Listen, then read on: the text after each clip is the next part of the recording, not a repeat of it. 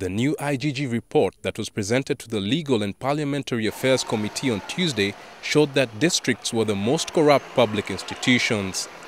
There's a generally held view that uh, the people that your office arrests are the ordinary people, while some high profile people who are untouchable are left to go scot free. What do you have to say about this? I would uh, say that there are hardly any complaints against uh, high profile people. So that's why we don't have so many cases involving high profile people. Okay. But of course, we uh, know that there, are corruption, there is corruption in um, what we would call high profile places like ministries and central government institutions.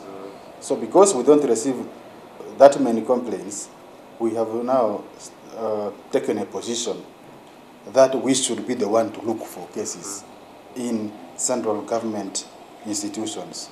So I've given a policy direction that the Directorate of Operations, which we have at the headquarters here, should, from if, with effect from this year, concentrate on handling complaints of corruption against people in central government ministries.